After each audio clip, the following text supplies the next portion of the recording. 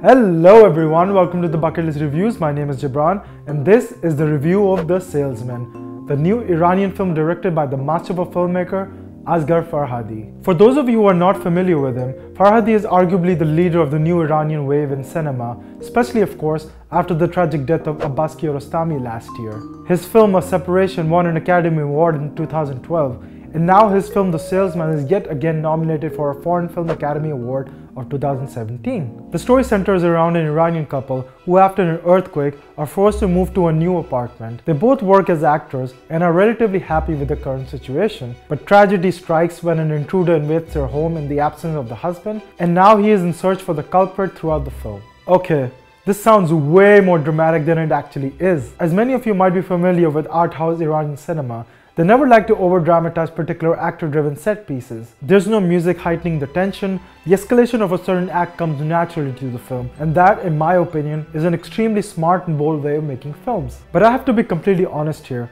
There isn't much I can criticize about this film because it's absolutely magnificent. The performances are so utterly compelling from our two main leads, especially Shahab Hosseini, that you're constantly wondering where the narrative of the film is taking you. Now apart from the main premise, the film is intercut between two major key elements of the film, the intruder story and the rehearsals for the upcoming theatre play, the famous The Death of a Salesman by Arthur Miller. Now some of you who is somewhat familiar to Miller's work and political ideas, this just somehow baffles me a bit why Farhadi chose this particular play as an innuendo for the film. From what I understood, The Salesman is a drama which when literally disturbed by an earthquake in the beginning of the film, unveils the emotional facade that the couple are living under. But similar to the play, was this a clever depiction of workers' alienation in a consumer-based economic system? I'm not too sure about that. The Salesman is a slow escalation of tension that rises till the end payoff of the film, and the third act is where the film shines the most for me. The melodrama is kept to the minimum in the film, and instead, the filmmaker cleverly focuses on the dynamics of the relationship of the couple instead. And as you can imagine, there are a lot of restrictions in Iranian cinema what can or cannot be shown on screen. But by now, Many brilliant Iranian filmmakers can cleverly portray the sensual human emotions without the opposite sex even touching one another. You hear that Western cinema? Gratuitous nudity is not always the answer. There's so much more I can talk about the film, but I would rather not indulge in the spoiler section. But what really intrigued me the most is the visual setup of the film. There are several intercut scenes where a quasi-drama scene occurs, and right in the next scene, you have the main protagonist removing their makeup in the theater studio, perhaps indicating the blurred lines between fiction and reality.